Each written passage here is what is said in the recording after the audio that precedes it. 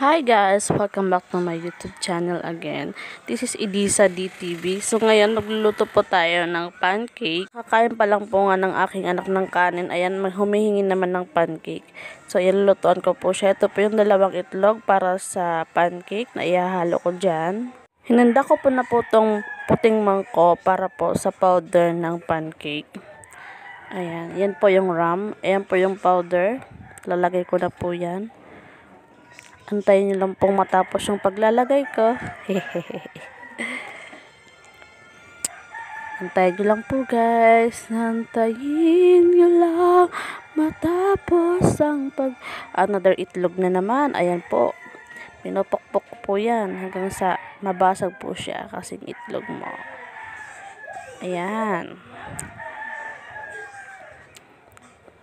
So, dalawa yan. Ayan, kukunin ko po yung isa. Oh, may nahulog palang shell.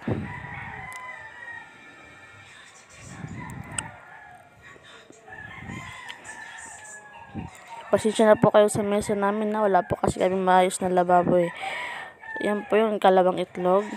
Lalagay ko na po yan. Ayun, nahulog again. Mm. So, lagyan lang po ng tubig. Halo-haloin. Yan, pinaghalo-halo ko na po siya. Para ma-mix agad lahat. Yung hinalo nating itlog. At yung pancake na harina. Harina ba yan? Um, harina. Halo-halo. Ayan, nakahalo na po. Nahalo na po siya. Sige pa, sige pa. Halo-halo pa. Sige lang, ihalo-halo lang natin. Ayan, dapat panay ang halo para matunaw po yung mga namumuong powder. Ngayon, buksan po natin ang ating mini stove. Ayan po yung aming lutuan. Ayan. So, painitin na po natin itong, ano, stick pan.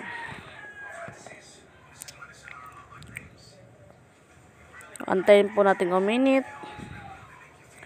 So, ayan na po. Ready na po siyang iluto. Iluto! Ayan, nagluluto na po tayo. Ayan, binibidyohan ko po yung pagputok ng bubbles. Ayan po yung bubbles niya. See? May bubbles-bubbles pa dyan. Please don't forget to subscribe to my YouTube channel and hit the notification bell for more cute videos. Cute ba to?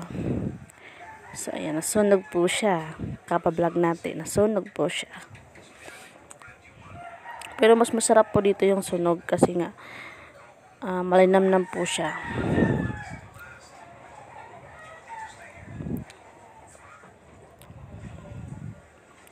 Ready to ahon.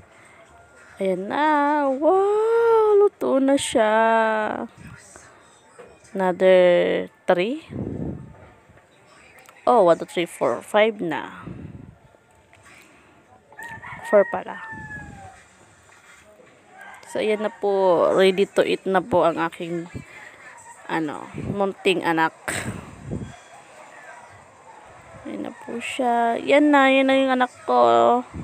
She's so happy na mayroon siyang pancake. Thanks for watching, guys.